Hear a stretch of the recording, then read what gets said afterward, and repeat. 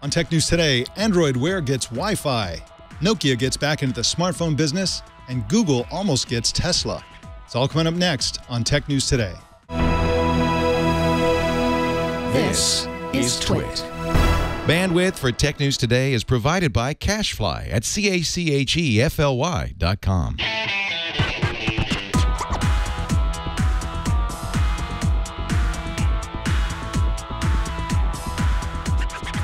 This is Tech News Today for Monday, April 20th, 2015. This episode is brought to you by LittleBits, the easy way to build electronics with modular building blocks. Go to littlebits.com slash TNT. You get $20 off your first kit plus free shipping in the U.S. And by Gazelle, the fast and simple way to sell your used gadgets. Find out what your used iPhone, iPad, and other Apple products are worth at gazelle.com. Tech News Today is the show where we talk about the tech news with the journalists who report it. Welcome to the show. My name is Mike Elgan, and our co-anchor today is CNET editor-in-chief Lindsey Turrentine. How are you doing, Lindsey?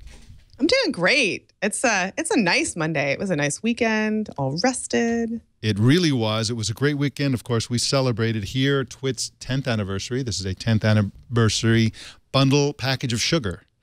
And so Ooh, I'm going to go into a diabetic coma after the show because I'm going to eat the whole box.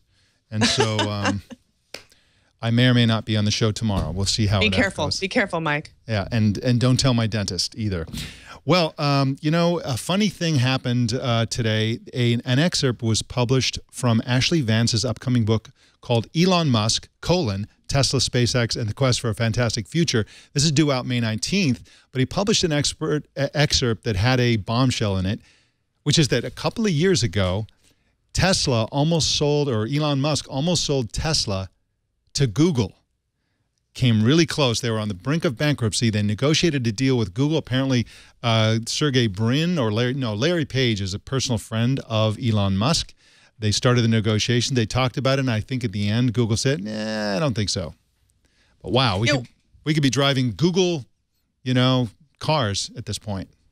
It, it seems like they came to a verbal agreement, and then once they actually started to dig into the details, was exactly the moment when Tesla pulled it together. And Yeah. all of a sudden, good numbers started to come in, and, and I think that was like an "oh, never mind" Yeah. kind of moment. But I think this is an interesting reminder of how dicey that whole project was. Yeah. because right now, I mean, at least in the Bay Area, you see you see Teslas everywhere. It gives the impression of of huge success. Kind of crazy to think that there was a moment when Elon Musk was about to essentially give up on it. It, it really is crazy. And, you know, I remember when that was happening, there were rumors that they were talking, and the assumption was that Google was talking to Tesla about building its self driving technology into Teslas. And people started talking about self driving Teslas. And it turns out that's not what they were talking about at all. They were talking about an acquisition. And of course, it's funny uh, also in the light of the fact that people have been talking for a long time about Apple buying Tesla.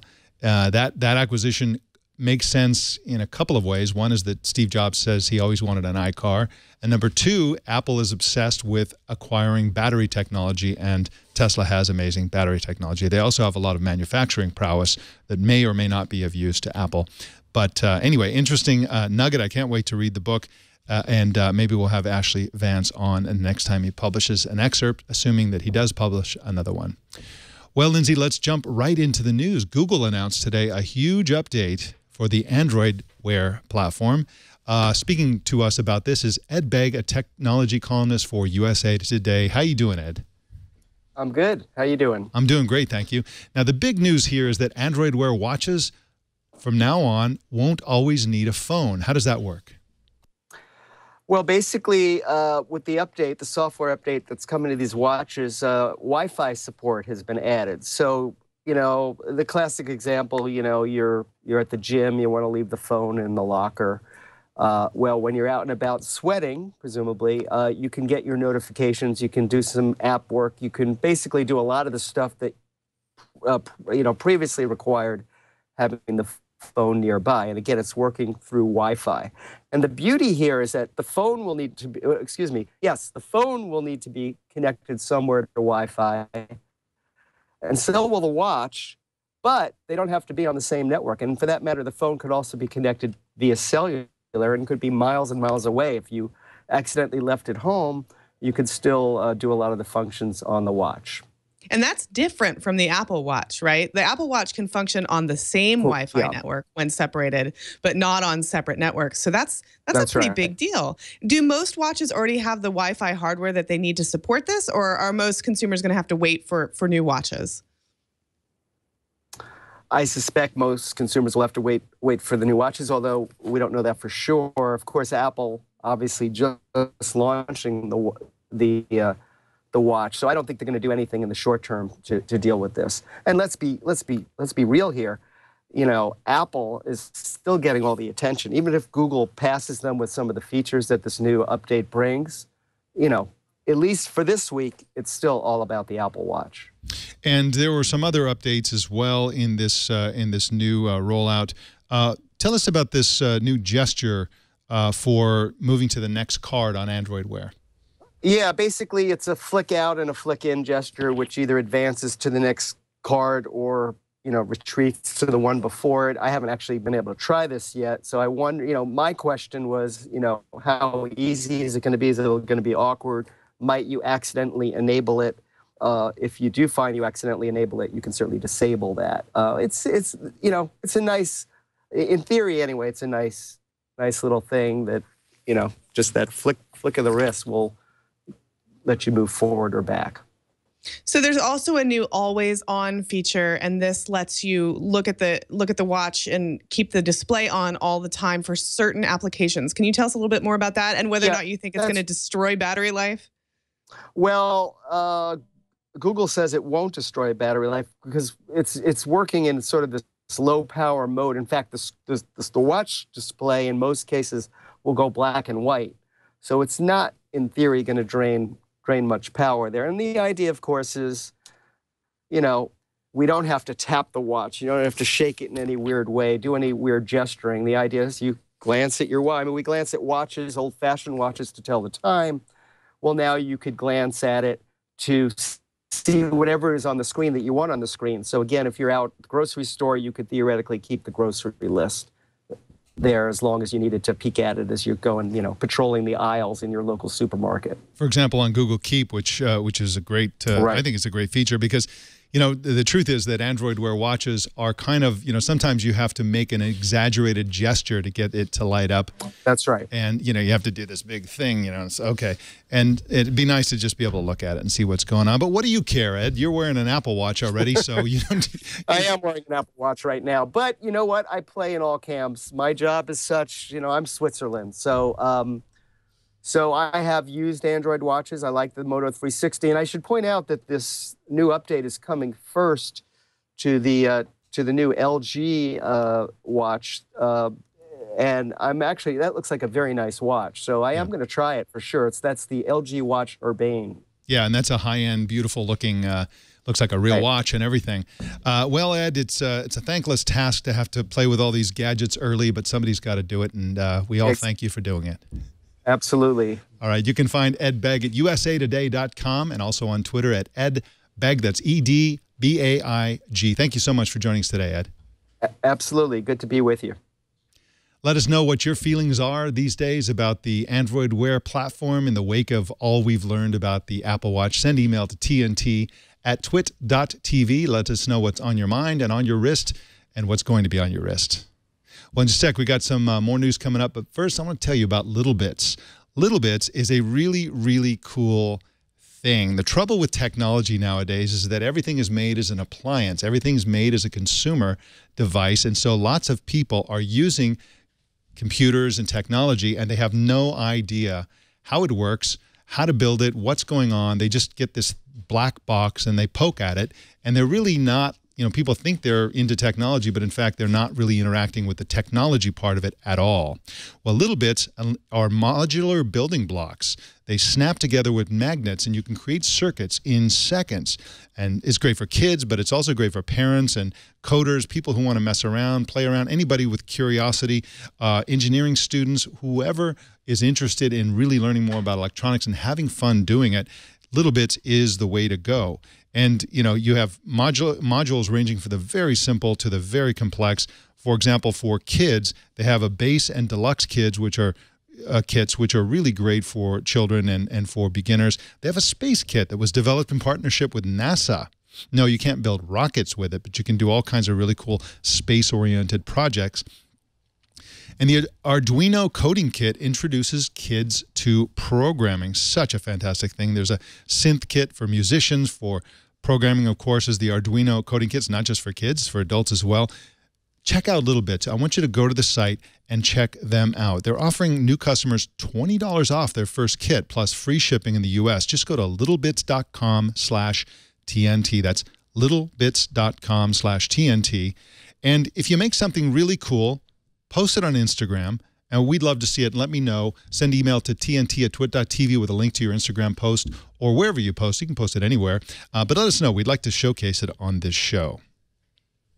Well, Recode is reporting in an exclusive that Nokia intends to get back into the smartphone handset business as soon as next year. Unlike before, when Nokia headed up the manufacturing of its own phones, the future plans center around Nokia licensing its designs to other companies that will handle not only manufacturing, but also sales and distribution. Nokia also plans to get into other areas, including virtual reality. Nokia sold its mobile unit to Microsoft a year ago, and under the terms of that deal, Nokia is prohibited from selling Nokia-branded phones. But that contract runs out at the end of the year. So it looks like we're going to see Nokia brand phones here at some point. Lindsey Turrentine, any thoughts on this? Is this worth doing to do this sort of licensing, licensing uh, of their designs and their technology? I think it probably is. I think it's kind of clever, actually. I mean, the brand still has a lot of name recognition around the world. Nokia, uh, according to the piece, Ina reports that Ina Fried reports that the uh, the Nokia N1, an Android tablet that followed this model, has been released in China. Um, this is a, probably a great model for some of these emerging markets, and it's kind of a clever way to keep some to keep all that value that comes with the brand, not just throw it away. Wow, my lights went out. Okay. Glad it was you and not me. I thought it was like, you know, my brain was flickering there for a second. Well, you know, it's it's a great uh, thing that they're getting back into what sounds like they're getting back into the consumer marketplace, probably also the business marketplace. They have a lot of technology and a lot of patents and a lot of brilliant engineers. So I'm really excited to see, you know, if you look at what they, you know, people think, ah, Nokia, you know, you think of those old phones we used to have in the, you know, early 2000s. But really, think about uh, think about their their camera phones, best ever made. The best cameras in any smartphones were came from Nokia. If you think about the uh, Nokia um, uh, here mapping application, really great stuff. They they have a history of building really great technology. They just happen to get their uh, get taken to the cleaners by Apple and Google, who uh, who sort of outmaneuver them in the smartphone handset and and mobile platform business. Um, but uh, but I can't wait to see them get back into into the business. And uh, you know, it, it's kind of ironic, but they'll be competing with Microsoft again. So it's kind of funny, and it's it is nice to see them in the business of design. Really, what they're doing is building some business around the most fun part of the process. Yeah, absolutely. Just sounds kind of cool. Yeah, sort of like Apple does, design in California or Finland yeah. in this case. uh, well, it looks like Windows 10 may ship in late July. We learned this when AMD CEO Lisa Su said during Friday's earnings call that AMD is factoring in, quote, the Windows 10 launch at the end of July, unquote. The apparent slip came in an, an, answer to an analyst question, and that's why I think this is pretty legit. It wasn't part of her prepared statements. It just came came out when she was trying to answer a question. And so that sounds um, reasonable, especially in light, Lindsey Turrentine, of the fact that Microsoft uh, said that it would come in the summer at some point. Yeah, I mean, this makes a lot of sense. It's surprising that she made the mistake, but not the the, the fact itself is not really very surprising at all, uh, except maybe that you know the end of July is the doldrums for tech news generally. And most people tend to be kind of on vacation, not really paying a lot of attention. Sort of wonder if this is uh, Microsoft's way of trying to get people when they have a little bit more time to think about it and then sort of slowly ramp up to having to deal with a bunch of new customers. Yeah, definitely. Uh, it is, you know, it's a mixed bag. If you go for the hot season, you also can get buried, although I doubt that the launch of Windows 10 would get buried under any circumstances. Um, you know, Apple would have to to to come out with a you know a robot or something like that for that to be buried. So it's always big news when a new version of Windows comes out. Well, uh, uh, if you have any um, thoughts on this uh, story, um, send email to TN, tnt at twit.tv. We'd love to hear what you think uh, about all this and about Windows 10, whether you're planning to upgrade to it. And um, just how you're thinking about the world of operating systems on the desktop and on tablets. Well, Google is changing its search algorithm tomorrow to favor mobile-friendly sites. The change is being called Mobile-geddon because sites uh, that are not sufficiently optimized for viewing on a smartphone will be knocked down the rankings in Google search results. How bad is this? Well, the research firm Portent said that, uh, or Portent, said that 10,000 websites out of the top 25,000 sites failed Google's mobile-ready test. And this includes the Department of Homeland Security. This is an astonishingly high number, Lindsey Turrentine, because, you know, these are the top sites, right? These are sites that are likely to rank on the first page, and they're going to lose their spot on the first page because they're not, according to Google, mobile-ready. Well, what's surprising about it to me is that you know, Google has a tool for webmasters that's very easy to use. You just type in your URL and it tells you whether or not it's mobile friendly. It's super simple. And this is not a surprise. It is not a surprise that Google has been working on this particular algorithm shift. So I kind of think if you are a top ranking site and you have not fixed this problem, you're not paying attention. That's that's exactly right. And you know, it's really a bad idea anyway, regardless of the search engine rankings, because more than half of, you know, traffic to websites these days comes from a mobile device. So you just you, you, know you'd have to just not care or something. I mean, it's just a it's a dereliction of duty if you if you're not mobile ready these days. Sure, and it's very frustrating for users. I mean, they the reason Google is doing this is because they want everyone to have a good experience with their search results, um, presumably, and it, they just don't want people to be frustrated when they click through from a link. Right, and and and it also you know there's there's some chatter in the chat room that's uh, uh an instant. Uh, argument going on in there. But uh, you know, one of the arguments is who is who does Google think they are to to make this decision? But I think the same could be said for the other direction. Who do, why you know what what responsibility does Google have to to link to you know or favor sites that are going to give people a bad experience? They try to have search results that are going to result in the best end user experience. And so if people are going to their site and it's a, a, lousy mobile experience or regardless, then, you know, I think it's their responsibility to knock them down a few pegs. That's not the best link. You know? Yeah. Although it could be, I mean, it, it's sort of, this is maybe a little bit of a stretch, but you could sort of say that Google's forcing this hand now because it may ultimately want the web to be more readable for Android Wear, which is a couple steps down the road, but they really are going to need the web to get cleaner yeah. in order for those products to work. So yeah. there may be some ulterior motives here. There could be. Well, in product update news, Twitter announced today that you can now send private messages to people even if they don't follow you. The old policy, which restricted private messages to people who followed each other, forced users to send publicly what should have been private, which led to troll attacks and other problems. Uh, Lindsey, bit by bit, they're, they're sort of fixing their troll and harassment issue, and I think this is an important one.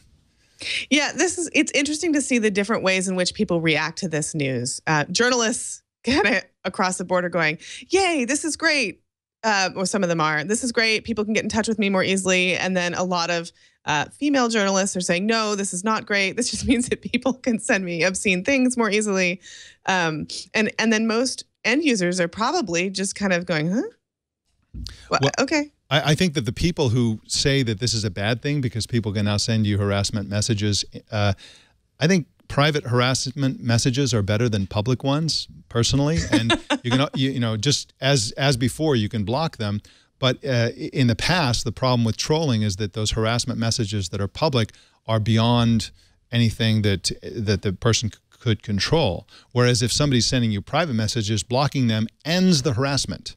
Like if they're only post sending them directly and privately, and you block that person, no one will ever see the harassment. You know, there's no avenue, right? So I, I, think it's I think it's great, and you know I think the other the other problem is that you know there there are a lot of people who are in the public eye who want to communicate with someone via Twitter, and when they send a, a public message because they had been forced in the past to do so, then the trolls who follow them can now put that person they were trying to contact into their crosshairs.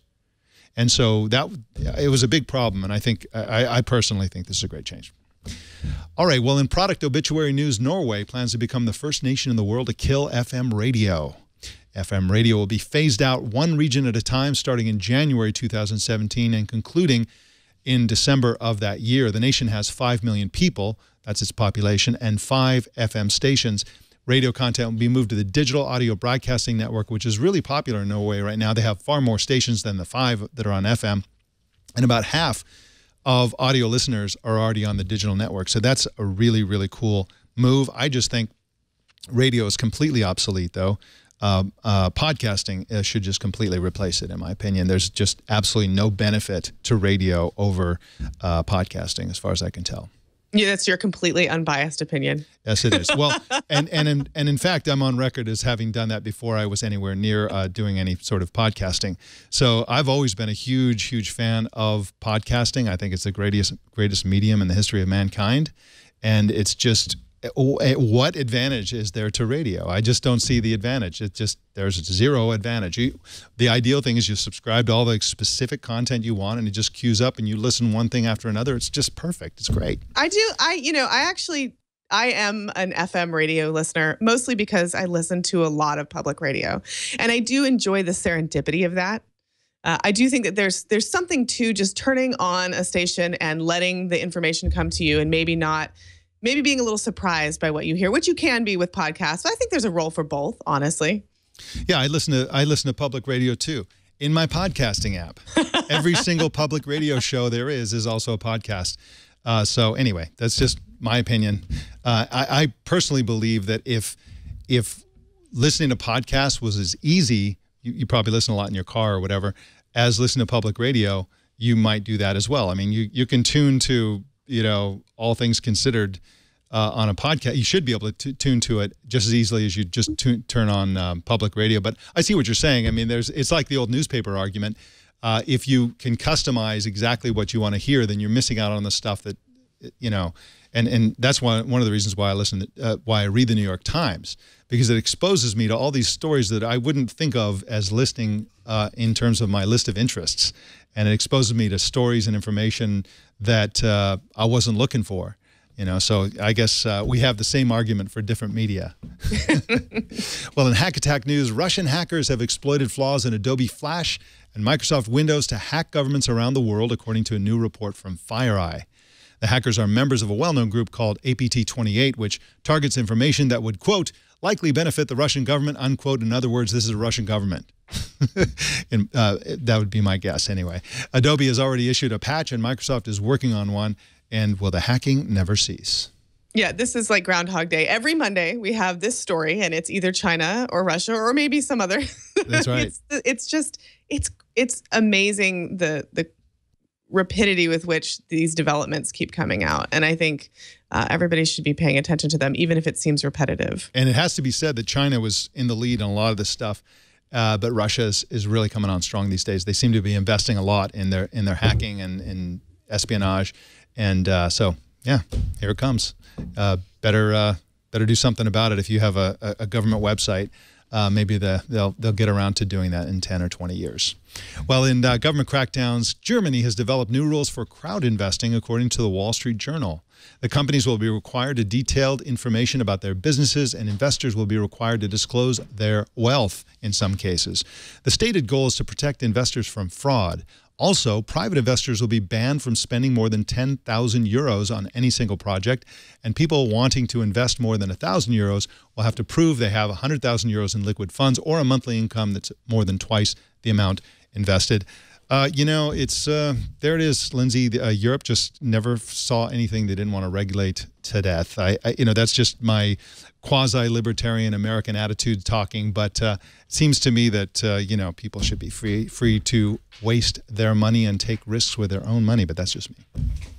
Well, you know, this is interesting. This is actually not that different from some of the regulations that the United States has for investing in. Like, if you say you want to invest in in a, a building project, you do. If you want to spend more than a certain amount of money, have to prove that you're you have liquidity in order to make that investment. So it's it's not terribly different from some of what you already see happening here in the states. Um, I do think that it's an interesting move that we haven't seen for crowdfunding in the U.S. And I, I for one, would like to see just a tiny bit of a, a tiny bit more consumer protection for crowdfunding because I've seen so many people get bilked. Uh, right. Um, they do get bilked, but again, you know, if you go to Vegas and and uh, get uh, drunk and spend all your money, that's that's legal and it should be legal. Uh, it's not the government's money; it's your money, and you should be able to waste it. Anyway, Sure, Just, just sure. my thought. Uh, or risk it at least. Um, and of course, it is always a risk to uh, to invest in something like a Kickstarter project. Well, we got more news coming up in just a sec. But first, let's talk about Gazelle. You know, an interesting report came out today. Uh, a depressing and tragic uh, report came out that points out that the world threw out 92 billion pounds of electronics last year a huge amount of electronic waste. Uh, this came from the United Nations University. I didn't know the United Nations had a university, but anyway, they do. And in the U.S. alone, uh, Americans tossed out 7.1 million metric tons of e-waste, which is nearly 16 billion pounds. That's basically how much the Great Pyramid of Giza weighs, and we did that in one year. So that's a lot of waste. We shouldn't be wasting uh, uh, electronics uh, unnecessarily because many of those products that have gone in wherever they go uh, could have been uh, put back into use. And one way to do that is Gazelle. In fact, the easiest way to do that is Gazelle. I've been using Gazelle for a long time, and it is super, super easy. You just go to the site, G-A-Z-E-L-L-E E dot com. You just click uh, on the easy use site uh, to, to indicate what sort of phone. Is it an iPhone? Is it an Android phone? You indicate its condition, and then they send you a box. You put it in the box, and off it goes, and you get paid. Super, super easy. And you know the problem is if you wait, if you wait a couple of years for a device and then want to sell it, okay, the battery's going to be problematic, the value is going to be very low. At some point, it's just not going to be worth selling. So you want to jump on that right away. The sooner you sell it to Gazelle, the better that phone will be for the person who buys it. The more money you're going to get for it, the better it is for everybody. And best of all, this is a person who's going to be buying a pre-owned device instead of a new one. That means that new device they would have bought will not be manufactured and the device that you are selling back to Gazelle will not be thrown into this massive trash heap of uh, e-waste. And so it's just good for everyone uh, involved and everyone in the world. The, if the more we can put things back into use, the better it is for the environment. Of course, if you want to buy a device from Gazelle, you can buy them in either certified like new conditions or certified good. Certified like new is just like a brand new phone. And uh, all devices have been put through a rigorous 30 point inspection. And certified pre owned phones are backed by a 30 day risk free return policy, so you absolutely risk nothing. So find out what your iPhone's worth and help the environment. Take a minute, go to gazelle.com and find out. We thank them for their support of Tech News Today. We got a big number for you today, 800 million. Yeah, that if you if you haven't uh, already guessed, that is a Facebook big number. That's how many monthly active users WhatsApp claims to have. WhatsApp, of course, was bought by Facebook last year for 22 billion dollars. Facebook also has 1.4 billion monthly users on for Facebook itself, and its Messenger app has about 600 million. You know, I'd love to know the total. There's of course lots of over, overlap there especially overlap between Facebook and Messenger, but I would love to know the total number of living souls that are active users of either Facebook or WhatsApp or Facebook Messenger. It's got to be a gigantic number. I don't think uh, Lindsey Turrentine, any company in the world, has as many users as Facebook. No, it's pretty astounding. And um, I, I was just thinking, this is like 160 times the size of Norway. Yeah. we were yeah. just talking about the population of Norway. Yeah. This is a huge. I mean, Facebook touches everyone almost in some way, and there are a lot of people who hate it, but there is no denying that that Facebook's impact has remained extremely strong. Yeah. It's an alternative internet. And uh, whether you love or hate the internet, uh, if you want to interact with human beings, you have to use the internet. And likewise on Facebook, if you want a social network with people, with all the people you know, there's only one place where all the people you know are, or almost all the people you know, and that's Facebook. Or, you know, in this case, WhatsApp or whatever. They have the big, big numbers and they have what I call them monopoly on everybody. And they got it early and they'll never get rid of it because once you have everybody, you know, it's like I can't stand Facebook. I hate Facebook, but I use it all the time because that's where everybody is. So, Yep. You use it to get in touch, like it or not. Yep. Well, in news you can lose, the next Star Wars flick called The Force Awakens features a cool new robot called the BB 8 droid, which everybody really likes because it's a working robot instead of CGI or Hollywood puppetry. Now, a guy named Christian Paulson liked it so much he built his own, but a very small one. He uh, used as his foundation a remote control ball called Sphero and attached the head using magnets. Note that Sphero actually helped Disney create the BB 8. And if you're looking at the video version, uh, there it is rolling around. There's a little tiny BB 8 How cool is that? Uh, I just, uh, I really like this robot. It's really uh, innovative. It's adorable. Cool. It's adorable, and it's really smart marketing from Sphero. Really smart marketing, and uh, yeah, it's just it's just a, a great thing. And you know, the the the people who are in charge of these franchises that have really devoted fans, like the Star Wars uh, franchise, you know, they really have to be smart about thrilling those fans. And something like this robot, actually building a robot that they can trot out in public like they did at last week's uh, press conference, is the kind of thing that really, really thrills fans because we like the real thing instead of just CGI. And I think the last the last Star Wars uh, movies were a little CGI heavy. It's great to see that they're getting some uh, real stuff back. Well, we got some feedback from a TNT fan named Nick Gassman, who said the following. I'm an avid fan of the podcast and generally listen in bed in the UK as it comes out in the evening here. I felt I had to comment. Wait a minute, it's only like seven o'clock at night. Well, anyway, uh, I, I felt I had to comment on the last uh, on the item last week uh, on the European action against Google Shopping. The journalist you interviewed, he's speaking about Amir Efrati, said a number of times that since Google, it was Google's search engine, they could, in his opinion, show what they wanted in the results. This strikes me as an uninformed and unhelpful opinion. When anyone starts a company, there are immediate laws they have to conform to. It's not a matter of personal opinion, as stated by the interviewed journalist, whether you believe that Google should or should not be able to display results in a certain way. Additionally, it seems to me that the actions by the French Senate are unrelated to the proceedings of the European Commission, although they seem to get mixed up in the interview. The French do have their own way of looking at the world that doesn't necessarily represent the broader European view. That is true, and it certainly doesn't represent the broader global view, which is exactly why the French should not be trying to censor Google globally. Uh, but anyway, just to, to be fair to Amir Efrati, his, Amir Efrati, his point was that uh, Google's opinion about what's relevant is the product. That's what you're getting from Google when you go to Google search. Uh, and so that was an interesting point, I thought, a controversial one. I'm not sure that uh, that our co-anchor on that day, uh, Christina Warren, agreed with him on that. Uh, but uh, and, and I'm sort of on the fence about it. I mean, it's an interesting point to say that this is what Google is. This is what the Google product is. It's their opinion about what's relevant. What do you think, uh, Lindsey Turrentine? Oh gosh, I don't know if I want to wade into this at right. the moment. well, it's it's optional. You know, I do. I think I think that everybody is entitled to their opinion about whether or not it's Google's right to do whatever they want. I I do, however, think that when any product becomes the de facto way that people research the world, get information about their life and about the way the world works. There is an obligation to do that in a fair way. Now, the nuances of how we sort out what's fair and what isn't are, is, you know, the devil's in the details. Yeah, and the problem I have, and and and the thing that I always go back to is that there's no such thing as opinion-free or value-free or judgment-free search results. There's just no possible way to do that in a way that isn't what you might call biased. And so whose bias should it have? The European regulators' bias?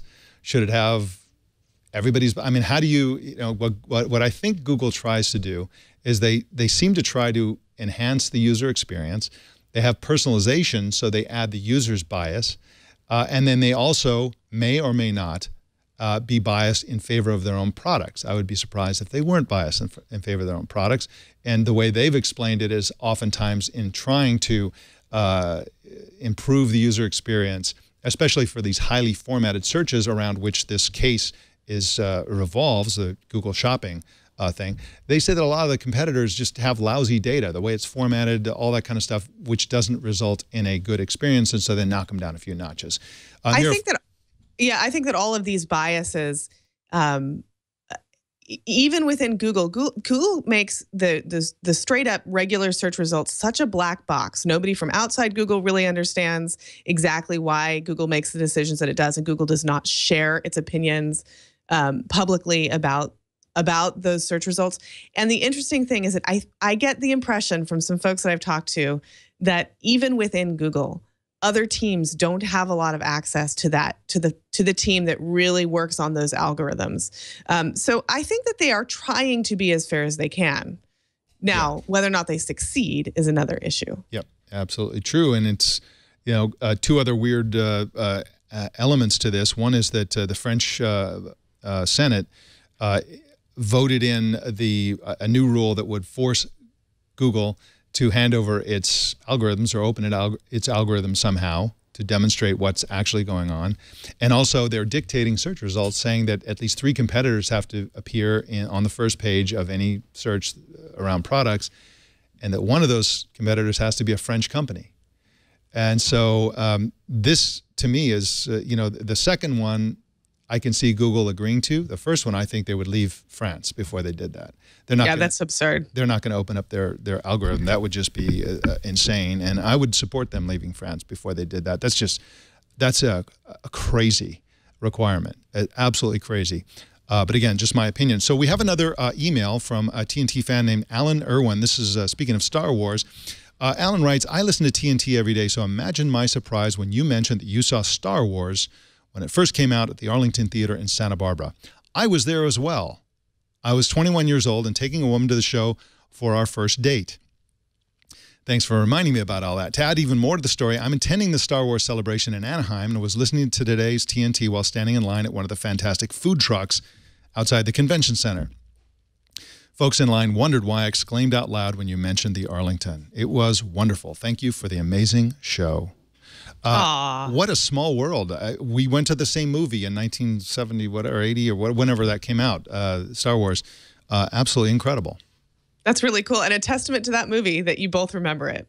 Yeah, well, I'd never seen a line like that uh, for anything ever.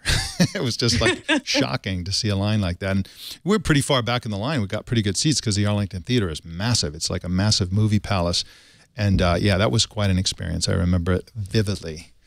Well, our TNT fan of the day, sit down for this one, folks. This is just mind blowing. Our TNT fan of the day is Barry Campbell of Houston, Texas, who's currently living in Seoul, Korea. Barry posted this video on Twitter, and it shows him watching TNT last week in a North Korean bowling alley.